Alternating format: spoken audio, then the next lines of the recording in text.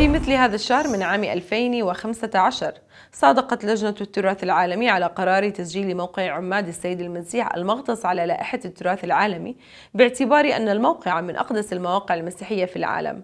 وأتى هذا القرار تتويجا لتوجيهات جلالة الملك عبد الله الثاني لبذل كل الجهود للحفاظ على الموقع وتعظيم قيمته الدينية والتاريخية عالميا.